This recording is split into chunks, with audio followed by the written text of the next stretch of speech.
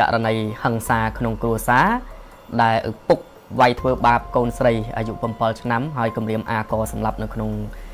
ស្រុករតនមណ្ឌលខេត្តបាត់ដំបងបងប្អូនរបស់យើងគាត់ចង់ដឹងថារឿងនេះវិវត្តដល់ណាហើយដោយសារតែគាត់ស្ដាប់រឿងហ្នឹងទៅ វាសង្វេគខ្លាំងពេកឈឺចាប់ខ្លាំងណាស់ដែលកូនស្រីអាយុទើបតែ7 8ឆ្នាំនៅជាមួយឪពុក តែត្រូវបានឪពុកបាទវាយធ្វើបាបយ៉ាងចាស់ដៃហើយរហូតទៅដល់យកកំបិតនឹងភ្ជុងក មុននេះខ្ញុំបានទំនាក់ទំនងទៅ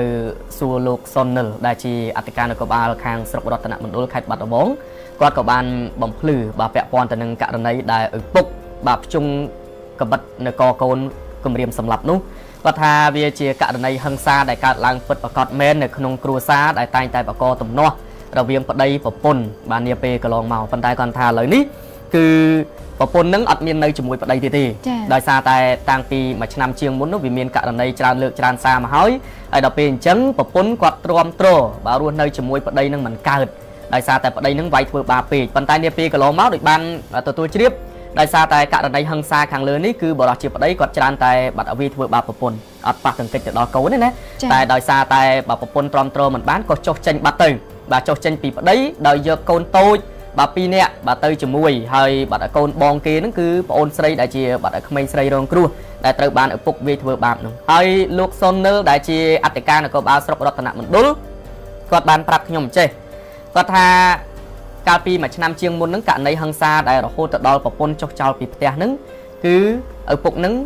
គាត់វាយបាបវាធ្វើបាបម្ដាយនឹងឯងប៉ុន្តែដល់ពេលម្ដាយគាត់រត់បាត់ទៅបាទបរោះជាស្ត្រីជាប្រពន្ធនឹងរត់បាត់ទៅក៏សល់កូនស្រីតូចមួយ សមត្ថកិច្ចក៏បានរៀបចំចាត់ចែងបញ្ជូនបាទក្មេងស្រីតូចបាទខាងលើហ្នឹងឲ្យទៅខាងសង្គមកិច្ចគាត់យកទៅដាក់មណ្ឌលក្មេងកម្មាកំព្រាណាបាទយកទៅដាក់មណ្ឌលកម្មាកំព្រាអញ្ចឹងទៅដោយឡែកឲ្យពុកនឹងអាហ្នឹងខ្ញុំនិយាយរឿងកាលពីជាងមួយឆ្នាំមុនទេមិនត្រូវបានដាក់ទោសទណ្ឌទេសមត្ថកិច្ចគាត់ទៅហៅមកអប់រំណែនាំបាទធ្វើកិច្ចសន្យាដើម្បីបញ្ឈប់បាទសកម្មភាពធ្វើបាបទៅលើក្រុមគ្រួសារទៀត ប៉ុន្តែតាំងពីនោះមកគឺប្រពន្ធគាត់អត់មករួមរស់នៅជាមួយបរោះជាប្តីនឹងវិញទេដោយបរោះជាប្តីនឹងគឺនៅផ្ទះក្នុងស្រុករតនមណ្ឌលនឹងតែឯងទេហើយក្មេងស្រីតូចដែលជាកូនបងគេនឹងគឺរស់នៅមណ្ឌលកម្មាកំព្រាហ្នឹងហើយតែក្រោយមកលោកសុននិលគាត់បានបញ្ជាក់ប្រាប់ខ្ញុំថាមានអ៊ំស្រីម្នាក់ដែលត្រូវជាអ៊ំស្រីបង្កើតរបស់ក្មួយស្រីខាងលើហ្នឹងគាត់បានស្នើសុំទៅខាងមណ្ឌលកម្មាកំព្រាហ្នឹងដើម្បីស្នើសុំយកក្មួយស្រីរបស់ខ្លួនហ្នឹងយក មកមើលថែទាំយកមកនៅជាមួយនៅក្នុងក្រុងបាត់ដំបងអញ្ចឹងហើយក៏ខាងមណ្ឌលកម្មាកំព្រានឹងក៏បានអនុញ្ញាតដោយសារតែគាត់ក៏ជាអាណាព្យាបាលជាអ៊ំស្រីបង្កើតជាអីចឹងណាអញ្ចឹងក៏គេអនុញ្ញាតឲ្យក្មេងស្រីនឹងមកនៅជាមួយអ៊ំតែមិនដឹងថាក្រោយមកអាម៉េចទៀតក៏ក្មេងស្រីខាងលើនឹងបែរទៅជាធ្លាក់ទៅដល់ដៃឪពុកនឹងទៅវិញឪពុកដែលប្រើហិង្សាវាយដំច្រំធាក់ហ្នឹងណាអញ្ចឹងលោកសុននឺក៏គាត់អត់ដឹងដែរគាត់អត់ដឹងថា តើអាម៉េចបានទៅជាអ៊ំស្រីនឹងទៅសុំក្មួយនឹងពីមណ្ឌលកម្មាកំព្រាមកមកចិញ្ចឹមបានមួយរយៈបែរទៅជាក្មេងស្រីនឹងធ្លាក់ទៅដល់ដៃឪពុកនៅក្នុងស្រុករតនមណ្ឌលនឹងវិញនិយាយអំពីថ្ងៃកើតហេតុកន្លងទៅប្រហែលថ្ងៃមុននេះដោយសារតែមានអ្នកស្រុកអ្នកភូមិបាទគេរាយការណ៍មកកាន់ប៉ុស្តិ៍សមត្ថកិច្ចថាមានករណីហិង្សាដោយបរិសុទ្ធជាប្តីនឹងបានវាយធ្វើបាបបាទបានន័យថាបរិសុទ្ធជាឪពុកនឹងបានវាយធ្វើបាបកូននឹងអញ្ចឹងក៏លោកអធិការគាត់បញ្ជូនឲ្យក្រុមការងាររបស់គាត់ បាទបញ្ជូនឲ្យក្រុមការងាររបស់គាត់នឹងចុះបាទចុះទៅមើលក្មេងនឹងបាទចុះទៅមើលក្មេងនឹងហើយដល់ពេលអញ្ចឹងក្រុមការងារនៃអធិការនគរបាលស្រុករតនមណ្ឌលនឹងគាត់ក៏បាននិយាយថាធ្វើមិនកើតដោយសារពេលដែលកម្លាំងសមត្ថកិច្ចចុះទៅដល់ផ្ទះរបស់ជនសង្ស័យជាឪពុកនឹងគឺគាត់បានវាយដំច្រំធាក់ក្មេងនឹងឡើងបែកក្បាលឡើងទ្រូមខ្លួនហើយហើយឪពុកនឹងគឺអោបកូនចេះបើអោបកូនជាប់ហើយយកកបិតនឹងភ្ជុងកកូនបើភ្ជុងគម្រាមនឹងអាសម្លាប់បើហ៊ានតែសមត្ថកិច្ច ឬក៏អ្នកណាម្នាក់ចូលជួយតែក្មេងនឹងឪពុកនឹងប្រកាសជាអាកកូនខ្លួនឯងសម្លាប់បាត់ហើយក្មេងស្រីតូចនឹងហើយដល់ពេលអញ្ចឹងទើបមន្ត្រីនគរបាលនឹងគាត់សួរមកបាត់លោកអធិការវិញថាឥឡូវមេធ្វើម៉េចបាទឥឡូវកម្លាំងមកដល់ហើយបែរទៅជាបរោះជាឪពុកហ្នឹងគឺយកកបិតជុងកកូនបាត់ហើយហើយបើសិនជាយើងហ៊ានតែបទ្រុងបត្រះយើងហ៊ានតែបោសម្រុកចូលក្មេងហ្នឹងប្រកាសជាស្លាប់ហើយគាត់លើកឡើងអញ្ចឹងណាហ្នឹងហើយហើយ ដល់ពេលអញ្ចឹងក៏លោកអធិការគាត់បានបន្ថែមកម្លាំងទៅទៀតបន្ថែមកម្លាំងទៅហើយគាត់ក៏បានប្រាប់ថារកវិធីសាស្ត្រនៅក្នុងការនិយាយពលលួងដើម្បីធ្វើយ៉ាងណា យើងជួយក្មេងនឹងឲ្យសុវត្ថិភាពបើកាលណាយើងស្ទុះទៅទាំងកំរោលអញ្ចឹងវាអត់កើតទេព្រោះក្មេងនៅក្នុងកដាប់ដៃជន់សង្ស័យទៅហើយហើយកបិតកំពុងតែភ្ជុំកទៀតបើមានរឿងអីមិនសំណំក្មេងនឹងប្រកាសជាស្លាប់ហើយហើយដល់ពេលអញ្ចឹងក៏បាទខាងសមត្ថកិច្ចគាត់និយាយកងកម្លាំងនឹងគាត់និយាយបញ្ចុះបញ្ចូលឡើងចូល3ម៉ោងមកចូល3ម៉ោងឯណោះ តម្រាំតែបរោះជាឪពុកនឹងព្រមលែងកូនចេញពីខ្លួនព្រមដកកបិតចេញពីកកូនទើបកម្លាំងសមត្ថកិច្ចចូលទៅកទ្រុបបាទចាប់ឪពុកនឹងជាប់បាទចាប់ឪពុកនឹងជាប់រំដោះកូននឹងយកចេញពីកដាប់ដៃជនសង្ស័យជាឪពុកនឹងឯងបាទហើយក៏ចាប់ផ្ដើមបញ្ជូនជនសង្ស័យជាឪពុកដើម្បីកសាងសំណុំរឿងចាត់ការទៅតាមផ្លូវច្បាប់ដោយឡែកនិយាយពាក់ព័ន្ធទៅនឹងរឿងកូនបាទរឿងក្មេងក្មេងស្រីតូចនឹងវិញអឺរូបភាពនៅបងវ៉ែនសខុមបាទក្រុមការងារនៅក្នុងខេត្តបាត់ដំបងខាងស្រុករតនមណ្ឌលហើយដល់ពេលអញ្ចឹង បន្ទាប់ពីបញ្ជូនបញ្ជាក់ជូនបងប្អូនថាយកបានក្មេងស្រីតូចនឹងមកវិញហើយក្មេងស្រីតូចនឹងមុនដំបូងយកទៅដាក់នៅមណ្ឌលសុខភាពខាងស្រុករតនមណ្ឌលតែពេទ្យមណ្ឌលគេថាដោយសារតែរបួសក្មេងនឹងធ្ងន់ពេកมันអាចទុកនៅត្រឹមពេទ្យមណ្ឌលបានទេក៏សម្រេចបញ្ជូនមកពេទ្យខេត្តបាត់ដំបងមកដល់ពេទ្យខេត្តបាត់ដំបងរឿងហ្នឹងក៏ដឹងដល់ថ្នាក់លើថ្នាក់លើខាងសង្គមកិច្ចខាងជួយបាទក្មេងៗហ្នឹងគាត់ថា ក៏មិនអាចទុកក្មេងហ្នឹងនៅក្នុងខេត្តបាត់ដំបងដែរត្រូវតែបញ្ញាប់បញ្ជូនបន្ទាន់មកមន្ទីរពេទ្យនៅក្នុងរាជធានីភ្នំពេញដោយសារតែស្នាមរបួសក្មេងហ្នឹងគឺបាត់ធ្ងន់ហើយខ្លាចទុកនៅក្នុងខេត្តបាត់ដំបងវាមានបញ្ហាអភិប្រឈមនានាដែលកើតឡើងចឹងទៅអញ្ចឹងក៏ខាងពេទ្យបាត់ដំបងហ្នឹងសម្រាប់នៅក្នុងការបញ្ជូនក្មេងស្រីតូចហ្នឹងឡើងមករាជធានីភ្នំពេញអញ្ចឹងបានន័យថាឥឡូវនេះគឺក្មេងស្រីតូចដែលត្រូវបានឪពុកវាយដំច្រំធាក់និងយកកបិតភ្ជុំកហ្នឹងបានមកព្យាបាលនៅភ្នំពេញហើយហើយខ្ញុំសួរទៅលោកអធិការលោកអធិការគាត់ថា ឥឡូវបរោះជាឪពុកជាជនសង្ស័យនឹងត្រូវបានបញ្ជូនកសាងសំណុំរឿងចាត់ការទៅតាមផ្លូវច្បាប់ដោយឡែកកូនស្រីបានមកដល់ភ្នំពេញបាទកំពុងតែព្យាបាលអញ្ចឹងបានន័យថាផុតពីដៃរបស់គាត់អញ្ចឹងគាត់បានដឹងរឿងហ្នឹងគឺត្រឹមតែប៉ុណ្្នឹងទេចា៎បាទធ្វើឡើងមកដល់ភ្នំពេញហើយ ហ្នឹងហើយចាប្រិមត្តអានេះគឺរឿងរ៉ាវដែលកើតឡើងកាលពីប្រហែលថ្ងៃមុនដែលមានការភ្ញាក់ផ្អើលខ្លាំងពាក់ព័ន្ធជាមួយនឹងឪពុកបង្កើតកាប់កូនស្រីខ្លួនឯងរបួសក្បាលយ៉ាងដំណំណានៅខាងស្រុករតនមណ្ឌលខេត្តបាត់ដំបងចាក្រុមការងារខេត្តបាត់ដំបងយើងគាត់បានតម្លាក់មកកាលពីប្រហែលថ្ងៃមុនហ្នឹងឯងហើយពាក់ព័ន្ធជាមួយរឿងរ៉ាវដែលភក្ត្រាជំរាបជូននេះនេះខ្ញុំអនុញ្ញាតជំរាបជូនបន្តបន្ថែមទៀតបញ្ហាវិវត្តយើងនិយាយទៅមើលខាងម្ដាយក្មេងស្រីវិញម្ដងបាទ ចាអានេះនេះខ្ញុំយកប្រភពយោងទៅតាមប្រភពពីលោកផនផល្លាគាត់បានផុសពាក់ព័ន្ធជាមួយនឹងគាត់បានទៅជួបជាមួយនឹងម្ដាយរបស់ក្មេងស្រីហើយម្ដាយក្មេងស្រី បានរៀបរាប់នៅដំណើររឿងរ៉ាវនៃការបែកគ្នាហើយឈានទៅដល់ទុកកូននៅជាមួយឪពុកឈានទៅដល់ឪពុកបានប្រើអំពើហិង្សាវាយដំទៅលើកូនដែលរងរបួសក្បាលយ៉ាងដំណំយ៉ាងធ្ងន់ធ្ងរនេះណានឹងហើយប្រិមិត្តប្រកាសជាចាំហើយគឺក្មួយស្រីហើយនេះគឺជាឪពុកនេះឬឪពុកអង្គុយនៅលើផ្ទះនេះរឿងរ៉ាវរបស់គាត់តាមសម្ដីរបស់ប្រពន្ធគាត់និយាយថាកាលពីមុននៅជាមួយគ្នានឹងគឺប្តីនឹងតែងតែប្រើអំពើហិង្សាមកលើគាត់ជារឿយរឿយប៉ុន្តែគាត់ថាគាត់ជាមនុស្សស្រីដែលពូកែទ្រាំអត់ធ្មត់ខ្លាំងបំផុតមែនតើ ចាគាត់ទ្រាំរហូតគាត់ថាបើមិនបើមិនទ្រាំបើទ្រាំមិនបានមិនមែននៅជាមួយគ្នាបានរហូតដល់កូន3ទេប៉ុន្តែការទ្រាំវាអស់កំណត់វាបាក់វាវាដល់ទីបញ្ចប់វាដល់ការកំណត់ណាអញ្ចឹងគាត់មិនអាចទទួលរងនឹងការប្រើប្រាស់អំពើហិង្សាពីសំណាក់ប្តីបានឡើយអញ្ចឹងគាត់ក៏សម្រេចចិត្តលែងលះហើយការលែងលះទៀតសោតនោះគឺទៅតាមប្រព័ន្ធផ្លូវច្បាប់គេសម្រេចឲ្យកូនបងទៅនៅជាមួយនឹងឪពុក អញ្ចឹងគាត់ទទួលបានកូនស្រីអធិស្ឋានគាត់ទទួលបានកូនតូចតូច2នាក់ពីព្រោះគាត់មានកូន3នាក់ចាអញ្ចឹងគាត់បានកូន2នាក់តូចតូចយកទៅនៅជាមួយបន្ទាប់ពីលែងលះហើយកូនស្រីបងដែលរងគ្រោះនេះគឺនៅជាមួយឪពុកហើយគាត់យកកូន2ចាចាក់ចេញចាទៅនៅស្រុកអឺបន្ទាប់ពីគាត់ចេញពីរតនមណ្ឌលខេត្តបាត់ដំបងមកចាគឺគាត់ទៅរស់នៅស្រុកកំណើតនៅខាងប៉នេតព្រះខេត្តបន្ទាយមានជ័យ អញ្ចឹងគាត់ក៏លែងបានតាក់ទងគ្នាជាមួយនឹងប្តីនឹងក៏ដូចជាលែងបានតំណែងជាមួយកូនដែលរងគ្រោះនឹងទៀតហើយប៉ុន្តែវាចៃដន្យអីថ្ងៃកើតរឿងនេះចាគាត់បានឃើញនៅលើ Facebook គាត់អត់មានទូរស័ព្ទល្អទំនើបអីប្រាំទេប៉ុន្តែមានញាតិចិត្តខាងដែលស្គាល់ណាគេមានទូរស័ព្ទដៃគេទៅប្រាប់គាត់គាត់ថាកូនហែងត្រូវប្តីវាយនេះរបួសធ្ងន់ឡើងដំណំអីចឹងណាចាបន្ទាប់មកមាន Facebook របស់លោកផនផាឡាហ្នឹងគាត់បានផុសចឹងទៅ ហើយបងស្រីគាត់ឃើញគាត់តក់ស្លុតខ្លាំងមែនតែនគាត់ស្រែករកពធគាត់ថាហេតុអីបានកូនទៅជារងកម្មពៀបែបហ្នឹងអាស្ថានភាពហ្នឹងកាលពីនៅជាមួយគ្នាពីមុនអត់ដែលវាយកូនទេអត់ដែលវាយកូននឹងទេចាវាយតែអំពើហិង្សាប្រើទៅលើប្រពន្ធទេប៉ុន្តែស្រាប់តែមិនដឹងអ្ហ្មិចបានមកវាយកូននឹងមកវាយដំកូននឹងដោយភក្ត្រានិយាយចឹងគឺគម្រាមសម្រាប់ភ្ជុងកទៀតនោះណោះចាហ្នឹងហើយអញ្ចឹងបងស្រីគាត់អាធំមែនតើហើយ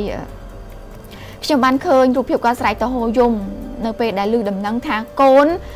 ដែលស្រឡាញ់ស្មៅជីវិតខ្លួនឯងត្រូវរងឪពុកកាប់សើស្ទើរតែស្លាប់ទៅហើយនោះអញ្ចឹងណាអញ្ចឹងគាត់ក៏បានធ្វើដំណើរមកភ្នំពេញមកមើលកូនណាមកជាមួយនឹងអឺអឺមន្ត្រីជំនាញនៅខាងអង្គការដែលគេចុះទៅជួយកូនគាត់ហ្នឹងណាគាត់មកគាត់មកអញ្ចឹងទៅគ្រាន់តែគាត់ទៅដល់ចាកូនស្គាល់ម្ដាយកូនអាយុ8ឆ្នាំអីហ្នឹង គាត់នឹងកលេចឃើញម្ដាយស្រែកទៅហោយំហៅស្រែកហៅម្ដាយហ្មងស្រែកប្រាប់ម៉ែអើយកូនឈឺណាស់ចុះគ្នាអាយុប៉ុណ្ណឹងហើយកាប់គ្នាឡើងប៉លទៅហើយអហ្នឹងហើយហើយម្ដាយហ្នឹងក៏រត់ទៅអោបកូនអញ្ចឹងទៅតែគាត់ថាអឺឪពុកនៅពេលនេះទទួលទោសទណ្ឌហើយចាប៉ុន្តែគាត់ថាម្ដាយគាត់នឹងព្យាយាមធ្វើយ៉ាងណាអឺសុំចាសុំយកកូនហ្នឹងមកស្ថិតក្រោមការគ្រប់គ្រងថែរក្សារបស់ខ្លួនវិញអញ្ចឹងណាចាអញ្ចឹងរឿងរ៉ាវអស់ហ្នឹងគាត់បាននិយាយគាត់ថាអឺ នេះកុំតែមានអ្នកចិត្តខាងគេប្រាប់គេមាន Facebook គេលេងគាត់អត់ដឹងទេគាត់ក្រគាត់អត់មានលទ្ធភាពអីទាំងអស់គាត់បានដឹងតតែសោះស្រាប់តែដឹងហើយគាត់ធ្លាក់ថ្លើមក្ដុកចាស្រ័យរកពធហ្មងហេតុអីបានកូនទៅទទួលរងនៅកម្មពៀបែបហ្នឹងត្រូវឪពុកធ្វើបាបស្ទើរតែស្លាប់ស្ទើរតែរស់អញ្ចឹងណាហើយកាន់តែខ្លោចផ្សាជាងគេពេលតែដើរចូលទៅដល់ពេទ្យឬកូនស្រីហៅម៉ែចាស្រីហៅម៉ែប្រាប់ថាឈឺណាស់អញ្ចឹងណាមិនដឹងថាតើគ្នាឈឺប៉ុណ្ណាគ្នាទៅ8ឆ្នាំហ្នឹងបាទចាអញ្ចឹងបានថាឥឡូវនេះគាត់ព្យាយាមធ្វើយ៉ាងណា យកកូនហ្នឹងមកក្រោមការគ្រប់គ្រងមើលថែរបស់ខ្លួនឯងវិញបាទចាហ្នឹងហើយអានេះយើងមិនតន់ដឹងថាតើការវិវត្តតទៅទៀតបែបណាថាតើគាត់អាចមានលទ្ធភាពនៅក្នុងការតតាំងប្រហែលជាបានទេពីព្រោះអីព្រោះឪពុកត្រូវទទួលទោសទៅហើយមានអ្នកណាមើលទៀតអត់មានអ្នកមើលទេហើយ បើអ៊ំស្រីទៅថាធ្លាប់សុំពីមណ្ឌលទៅនោះក៏ប្រហែលជាមិនអនុញ្ញាតដែរព្រោះលើកមុនគាត់ទៅសុំម្ដងហើយលទ្ធផលចុងក្រោយកូនស្រីនឹងធ្លាក់ទៅដល់ដៃឪពុកដដែលចាមានការធ្វើប្រហែលធ្វើឲ្យក្មេងធ្លាក់ទៅដល់ដៃឪពុកហើយទទួលរងនៅទណ្ឌកម្មទាំងទាំងវ័យក្មេងបែបហ្នឹងណាអញ្ចឹងទៅវាពិបាកដែរពីព្រោះអឺការលែងលះហ្នឹងគាត់និយាយដែរបងស្រីមិញគាត់ថាគាត់គាត់អត់ចង់បាយកូនណាមួយតតែសោះពេលដែលលែងលះគ្នាហ្នឹងគាត់ចង់បានកូនទាំងអស់ប៉ុន្តែបញ្ហាផ្លូវច្បាប់អឺ ដែលគាត់និយាយនេះតាមដែលគាត់និយាយរឿងដែលភត្រាលើកមកដំបូងថាអត់បានលែងលះគ្នាហ្នឹងខ្ញុំអត់ដឹងណាបាទពលលោកអធិការគាត់បញ្ជាក់អញ្ចឹងខ្ញុំនិយាយតាមគាត់និយាយគាត់ថាគាត់ចង់បានកូនមកទាំងអស់ប៉ុន្តែ តាមផ្លូវច្បាប់គេអត់ឲ្យយកមកទាំងអស់ទេគេត្រូវចែកគ្នាចឹងណាកូនបងបានទៅឪពុកកូនប្អូនបានមកម្ដាយអីចឹងទៅអញ្ចឹងគាត់ក៏សម្រាប់ថាទុកកូនបងអាយុ8ឆ្នាំហ្នឹងឲ្យនៅជាមួយឪពុកទៅប៉ុន្តែក្រោយមកស្រាប់តែបែកគ្នាមួយរយៈក៏លឺដំណឹងរន្ធត់បែបហ្នឹងចេញមក ហ្នឹងហើយអញ្ចឹងថាវាអណ້ອຍអធមខ្លាំងមែនតែននេះគឺជារូបភាពអាចនិយាយបានថា ពីទុកលំបាករបស់ជីវិតអ្នកដតីប៉ុន្តែក៏គួរធ្វើជាមេរៀនសម្រាប់ជីវិតឪពុកម្ដាយនៅក្នុងពេលដូចគ្នា ការបែកបាក់គ្នាមិនមែនជារឿងល្អសម្រាប់កូននោះទេ នៅពេលដែលឪពុកម្ដាយគិតថាលែងលែងទៅខ្វល់អីមកប្តីរកទៀតបានប្រពន្ធរកទៀតបានអាហ្នឹងត្រូវមនុស្សប្រុសប្តីអាចរកប្រពន្ធមួយទៀតបាន ប្រពន្ធក៏អាចរកប្តីមួយទៀតបានដែរប៉ុន្តែកូនអត់អាចរកឪពុកម្ដាយរករកឪពុករកម្ដាយដែលដូចម្ដាយខ្លួនឯងនឹងបានមួយទៀតទេអត់បានទេអ្វីដែលកាន់តែសង្រេងមែនតែននោះគឺជួបនៅរូបភាពបែបហ្នឹងនេះឪពុកបង្កើតខ្លួនឯងវាជាករណីដែលកម្រប៉ុន្តែករណីដែលតែងតែកើតមានឡើងគឺឪពុកចុងម្ដាយចុងមិនសូវជាមានអ្នកណាមានទឹកចិត្តល្អជាមួយនឹងកូនយើងដូចកូនគេនោះទេ បើទោះបីជាល្អក៏មិនអាចមើលថែកូនយើងដិតដល់ដូចយើងខ្លួនឯងដែរមួយវិញទៀតនៅពេលដែលកូនភ័យខ្លាចកូនត្រូវការភាពកក់ក្ដៅក៏គេមិនអាចផ្ដល់ឲ្យកូនយើងដូចយើងខ្លួនឯងដែរអញ្ចឹងនៅក្នុងចំណុចនេះនេះខ្ញុំចង់បញ្ជាក់ប្រាប់ថាមុននឹងចង់សាងគ្រួសារសូមសូមគិតគូរឲ្យបានច្បាស់លាស់ថាអ្នកទាំងពីរអាចចាប់ដៃគ្នានៅជាមួយគ្នាបានដែរឬអត់ហើយមួយវិញទៀតនោះ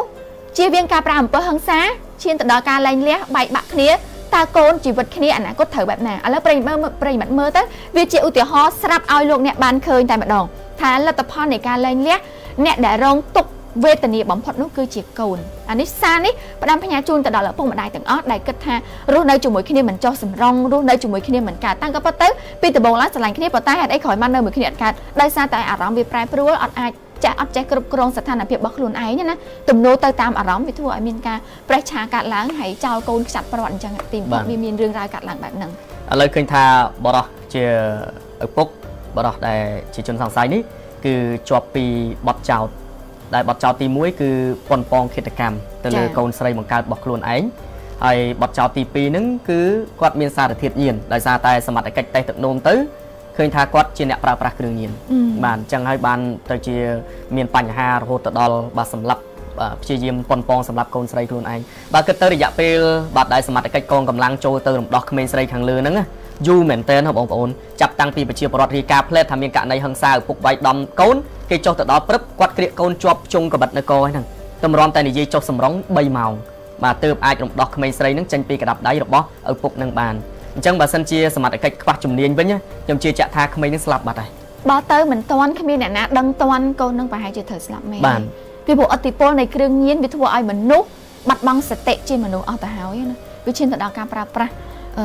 ធ្ងន់ធ្ងរពេកសូម្បីតែកូនខ្លួនឯងសាច់ខ្លួនឯងក៏លែងដឹងថាកូនខ្លួនឯងទៅហើយលើកដៃវាយគ្នាយ៉ាងហ្នឹងទៅនេះហើយកូនស្រីទៀតណាប្រិមិត្តប្រិមិត្តគិតមើលថាតើភាព